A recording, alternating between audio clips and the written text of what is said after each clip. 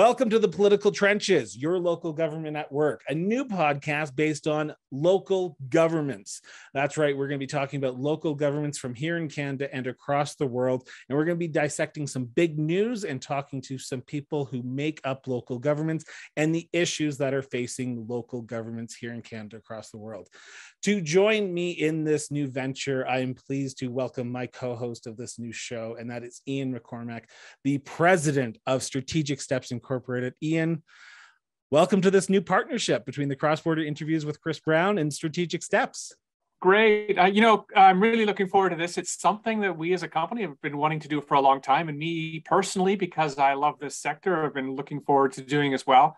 And this is really an interesting venture because I think we will be able to provide some unique information and hopefully there'll be some engagement with some uh, some of our some of our listeners and watchers as well so chris i'm really looking forward to this and i am as well so just brief background.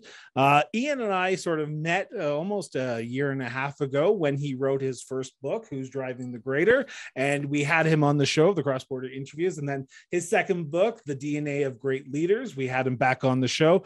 And we started talking about the idea of local governments because and I will be the first to admit, and I think there's a lot of people who might listen to this, and through my series of municipal elected leaders on the cross border interviews, municipal governments, local governments are often the forgotten governments that we don't often tend to talk about because we they're not the partisan politics.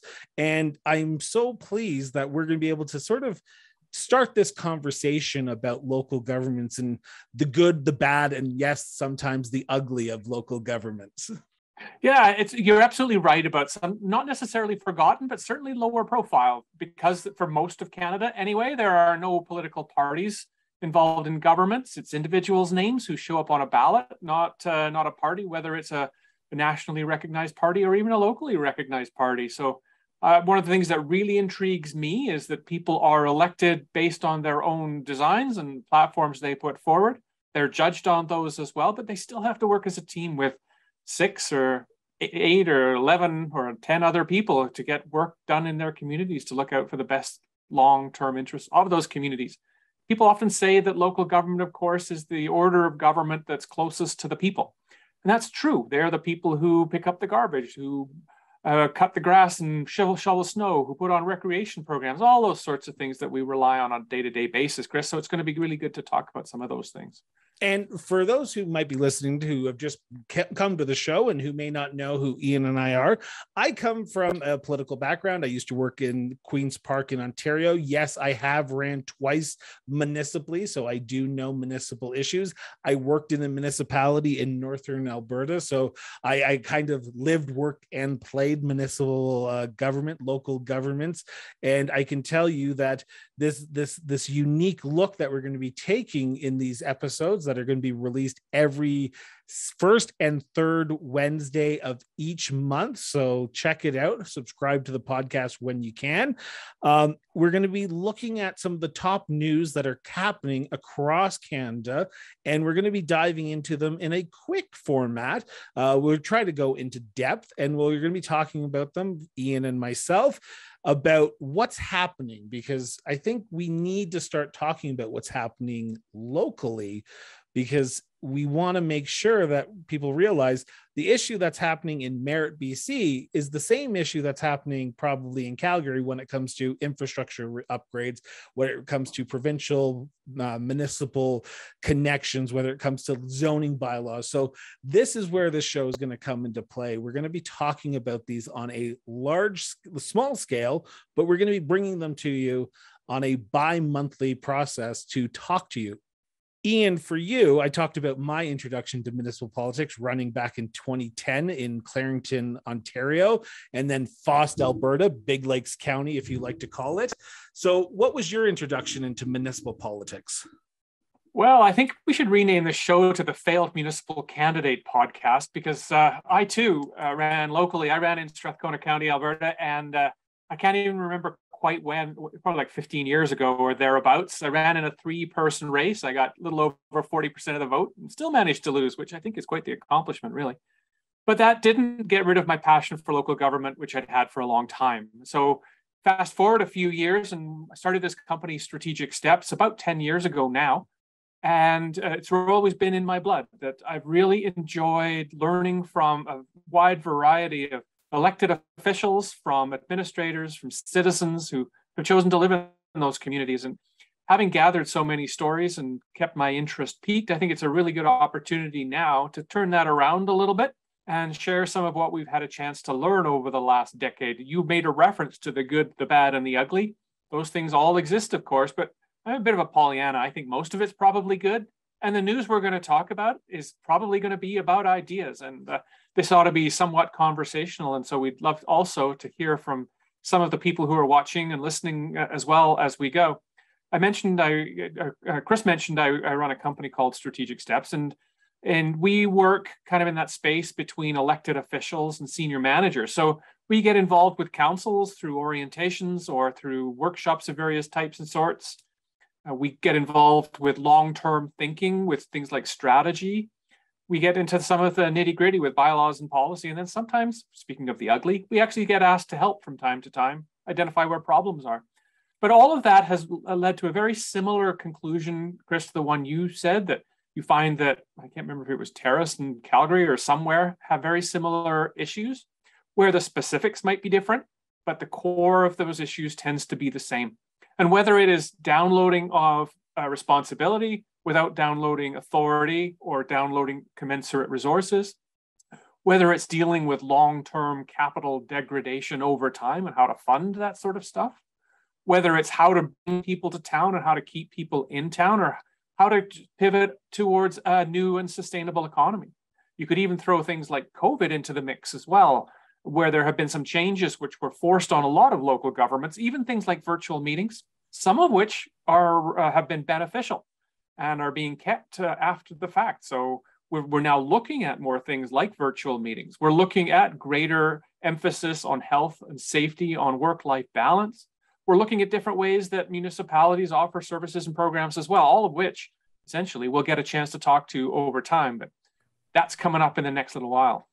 And as Ian said, you can reach out and give us feedback. Give us feedback, reach out. If you see a story that's happening in your municipality, send us a message. We have an email set up, the political trenches at gmail.com. We can be found on Facebook. We can be found on Twitter. Uh, please check us out. Follow us. We we have updates of what's going on municipally around Canada right now with a lot of elections that are going on municipally, but also some by-elections, some big news stories. If there's a CAO that resigns, we'll be bringing that news to you via those Twitter um, and Facebook updates. So please, like I said, the political trenches at gmail.com. If you want to send us an, uh, an email about what you are seeing in your local municipality, please do that because we want to be able to be an interactive show. We want you to be along this with us on this journey of local governance uh, discovery, but also local governance. Uh,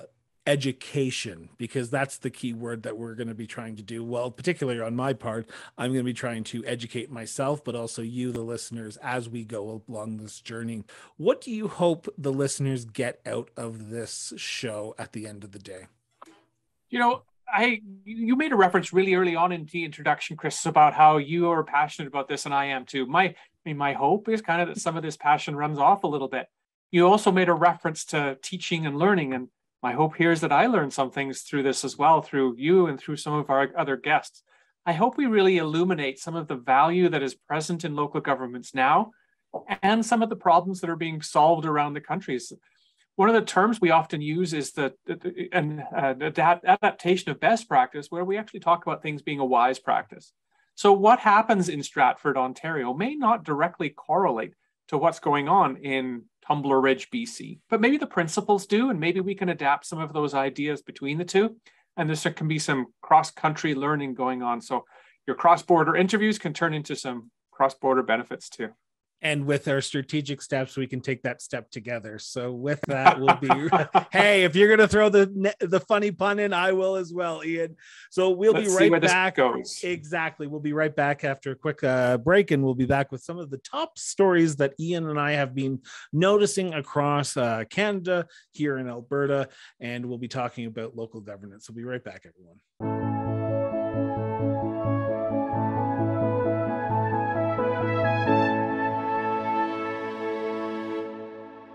Welcome to our news segment where we talk about the biggest news that is happening across Canada from a local governance perspective. And we have to start off with one of the biggest news stories that's happening in well, relatively large number of provinces here in Canada, and that is municipal elections. Ian, we are in election season municipally and provincially for a lot of provinces right now. What are people heading? Where are people heading to the polls? Isn't this exciting? It's kind of like Christmas for those of us who are municipal drunkie. And since we don't have our names on a ballot, there's no risk to us either. So that's that's kind of cool. Uh, Chris, you're right that more than half of Canadians will be going to the municipal polls over the next month or so, month or two. And so we could see some quite significant changes. We've heard, I've heard anyway, about a lot of mayors of larger municipalities who aren't running for re-election this time. So particularly in Ontario, there's going to be some significant change. But if we look at them over the next little while, as we record this uh, this segment, uh, October 15th, which is tomorrow for us, uh, British Columbia is going to the polls for their municipal elections throughout the province. So there's a lot of people, obviously, who live there in, in Canada's third most populous province. That's followed the next two days later on the on the Monday the 17th with the city of Yellowknife heading to the polls. That's interesting because they're the only municipality in Northwest Territories that's going to the polls as part of this particular election. The Northwest Territories divides their elections up, I think, into three different groups, but Yellowknife's going. Uh, they have a mayor there who, Rebecca Alty, who has uh, been in office now for the last what, three years, 560 odd days, and is running unopposed for mayor. So is likely to be likely to be returned. Uh, a few days after that, October 24th, the largest province in the country, Ontario goes to the polls, and so they will be electing a whole bunch of new council members, a whole bunch of new mayors as well, and we're starting to see some differences happening in Ontario in terms of how local government happens, particularly in some of the largest cities. Two days after that, on October 26th, Manitoba and Manitobans will be heading for the polls and electing a new people as well. Now, Manitoba is an interesting one because about a decade ago, actually more than that now, they went through an amalgamation process, quite a significant one. And so there's way fewer municipalities now than there would be 15 or 20 years ago. If you look to a month or so after that, or a few days after that, Prince Edward Island is going on November the 7th. Not a ton of people to be elected there, but it's still one of the, obviously, the home of Canadian Confederation. So PEI goes on November 7th. A couple of days after that, on November the 9th, in Saskatchewan, they have a really interesting process. They are going to the polls to elect councillors in their regional, sorry, rural municipalities who represent even numbered divisions. So if there are approximately half, one more or one fewer than half of the elected officials will be changing in their rural municipalities too. So two years from now, there will be another election for the other half, the uh, odd numbered divisions in rural municipalities. If we look next, there's a bit of a break to November the 28th when New Brunswickers will be going to the polls. They are following that uh, lead of places like Manitoba and looking at some significant amalgamations there. Uh, we heard about 50 new municipalities and 12 rural districts will be uh, electing new people or returning existing people. And finally, towards the end of the year, December the 12th, hamlets in, no, in the Northwest Territories will also be electing people. Now, why the Northwest Territories chose December for an election rather than maybe sometime in the summer, it's completely up to them, of course. But NWT Hamlet. So that's a lot of people in a, the, the, the vast the vast bulk of the geography of the country, as well as the vast bulk of people in the country who are looking at some fairly significant change likely coming up in the next couple of months. Here in Alberta, we have also some by elections that are coming up to fill some vacancies. Now, I know that you and I, uh, we we were back and forth on Wednesday, October 12th, because I was at the edge of my seat waiting for those results from high level to come in. But in Alberta, there's a few towns that are actually going to some elections as well. Well, by elections to fill some vacancies on their councils, correct? As well, correct? Mm-hmm. Yeah, there are there are about half a dozen, give or take, that either have gone to the polls by the time this airs or will be going. And it's interesting to me because this is almost a year to the day to the, to the last general election, which means there's been enough change in some of these municipalities that we're starting to see a requirement to fill some vacancies in some of these places. And some of them have carried a single vacancy for a while. But once, if there becomes a time where a second vacancy occurs on the same council, particularly a small council, it really becomes onerous on the rest of council to pick up the slack. All of these municipalities we're talking about are have councillors elected at large, so representing the same constituency. But we do see sometimes some of the major urban centers across the country where there are vacancies on a ward-based or division-based uh, just uh, way of electing people. And that leaves a chunk of people essentially unrepresented between the time of the resignation and whenever a new person uh, wins the wins the vote or is appointed in some municipalities in some some parts of the country. I think Iqaluit, for example, just appointed somebody to a vacancy in in a, in a council. Anyway, you'd referenced the Alberta by-elections. You you also said that the town of High Level, which is northwestern Alberta, uh, was had a, had an, an election earlier this week as we are talking. The winner got very few votes, which is almost always the case in a by-election. And to me, that's that's really quite troubling because it indicates a lack of engagement that that there there's not enough people who think there is value in actually getting out to vote their local representatives. And it's one of those wicked problems that a lot of people are working on. So anyway, that once happened. Uh, on Monday of the next week, we have a couple of by-elections. One is happening to fill a vacancy in the city of Grande Prairie and one is in, in the other end of the province in Pincher Creek, also filling a, a, a vacancy. Town of Legal goes on October 24th. Uh, that is just north of Edmonton, and they're filling a vacancy. And the town of Rocky Mountain House is going on November the 21st to fill a vacancy. So chances are that that, just judging by the time in advance, that that was uh, probably fairly recent that that uh, that resignation or disqualification, I don't know what it was, occurred. And finally, the most interesting one to me, anyway, is the new town of Diamond Valley is going to the polls on November 28th. This is a newly amalgamated community. Actually, they don't actually amalgamate until uh, January 1st of next year officially, but they will be electing a joint council on November the 28th who will take, take office with the new, new community. This, of course, is a, a an historic collaborative venture between the town of Black Diamond and the town of Turner Valley, and they had chosen the name Diamond Valley as their new community. So I'm really quite interested. I've worked with there a couple of times in both of those former communities, just to see how that all works out for them. So yeah, there are there is going to be some change here in Alberta too. As we head into uh, the winter months, we are seeing. Uh, municipalities struggle struggle with labor issues with trying to attract people to bring them into their communities to get them hired because let's be honest right now on a national level we are seeing a lot of turnover but we are seeing a lot of labor issues. Some municipalities and i'm going to just make sure i read off the correct ones here um, of quispamsis I apologize if I pronounced that right. New Brunswick, Guysborough, uh, Nova Scotia, and Sackville, New Brunswick have gone to a four day a week uh, work week.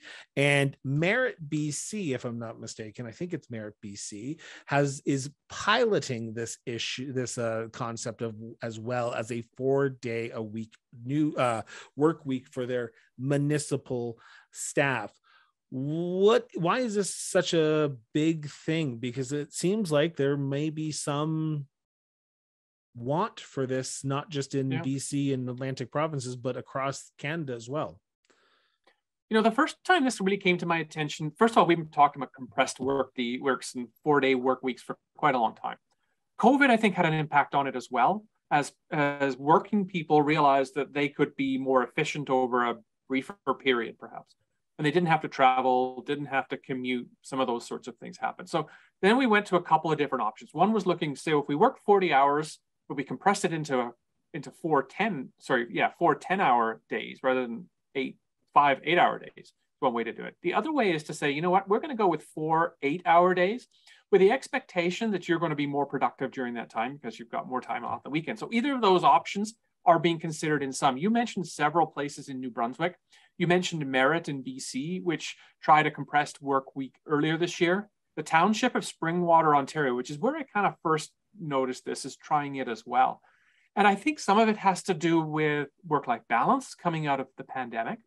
Uh, some of them are recognizing that they can keep an office running five days a week with 20% of their staff off at any given time. Uh, you probably want somebody on the front counter, but behind that, whether they're working in the office or whether they're working virtually. Some people work better one way or another. So I think they're trying to respond to the changing desire for a work life balance, which therefore will increase things like staff retention. And municipal offices are a place that probably uh, salaries are, while competitive, not really at the high end of what's going on. So we're trying to change, or they're trying to create a culture or build a culture of where there's a team where we look at hybrid work. They're probably also looking at some things like cost reductions. For example, if we do close the town office for one day a week, we don't have to heat it. We don't have, well, as much. We don't have to clean it as much. And we're rethinking the way work happens too. So I think there's a variety of reasons the four day work week is being considered or being piloted. And interestingly to me, this is not something that would happen without councils being on side with it. So we talk to councils sometimes about the desire, their desire anyway, to be innovative. And then we flip the coin over. We say, well, what kind of risk are you willing to accept as this? And some of this might be blowback from people who say, you know what, I expect four day or five day a week service at the front counter. How come I only have four now? Or why aren't you open as long in the day as you used to be? So this is not all good, I guess, depending on percept- perspective. But I think it is kind of the way we're probably going to go. There's a lot of private industry is doing this. And if we are trying, we as private industry, or sorry, we as people in the public sector are trying to keep those people we've got and maybe attract the next generation, we have to start adapting to that as well. So the four day work week is, is one thing. There may be other innovative ideas which are being tried as well.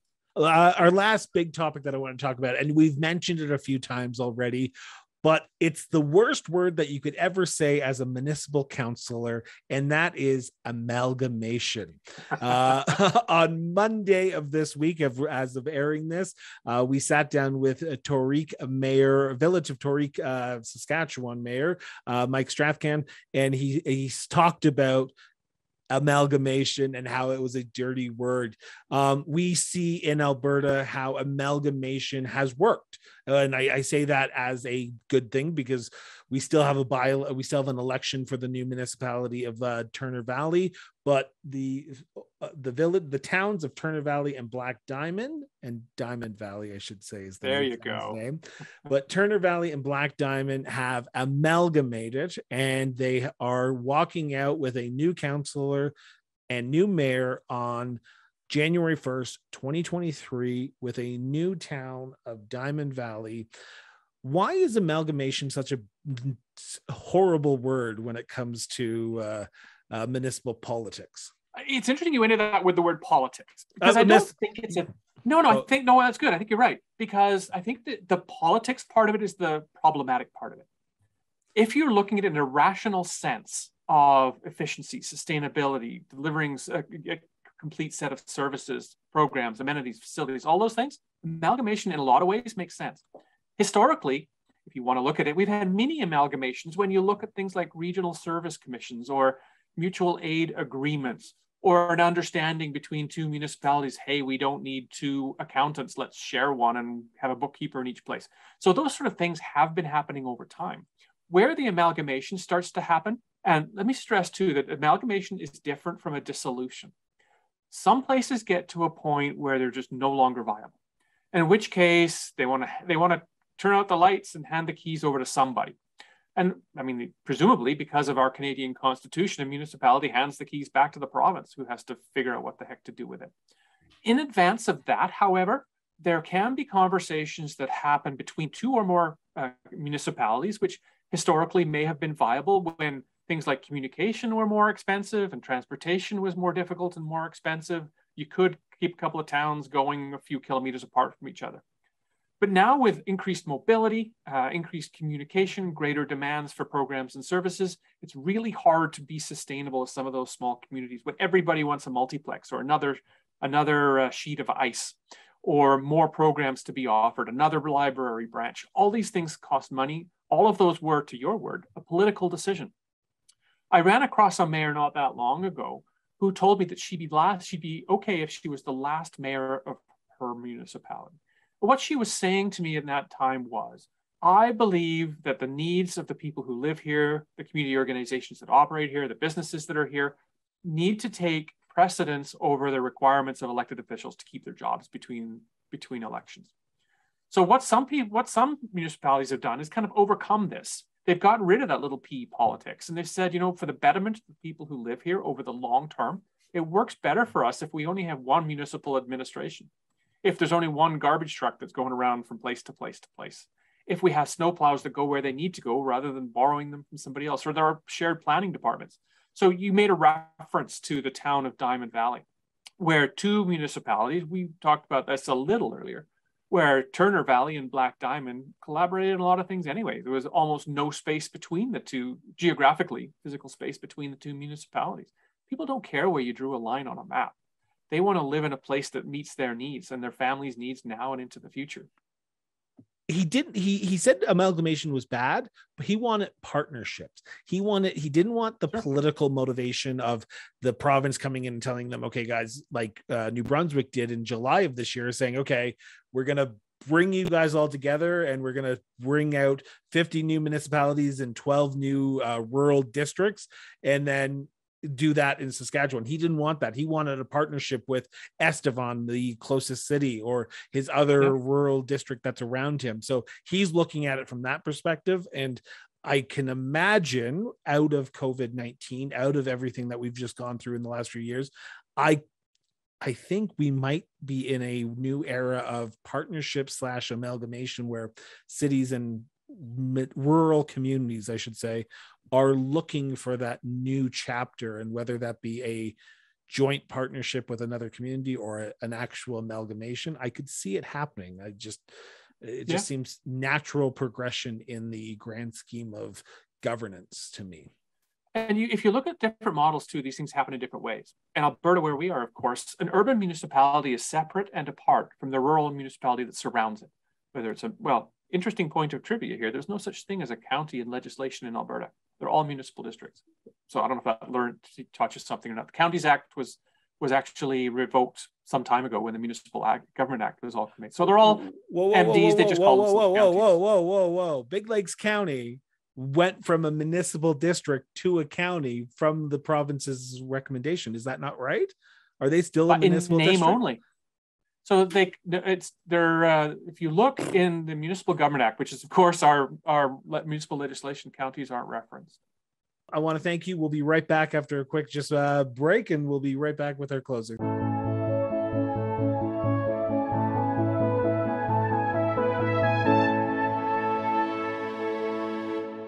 Ian. Uh, this has been fun. It's going to be a little bit different next uh, on November 2nd when we release episode two. But this episode, we've learned about uh, amalgamation, about upcoming elections. So thank you so much. Well, thanks to you, Chris, too. I uh, it's it's always fun to do this in a conversational style rather than just as a talking head. So hopefully that uh, helps people when they're listening to this as well. And I'm interested to hear what they have to say too. That's exactly right, Ian. If you like what you've heard today, hit the subscribe button, follow us on Twitter, follow us on Facebook, and share this show with your friends and family.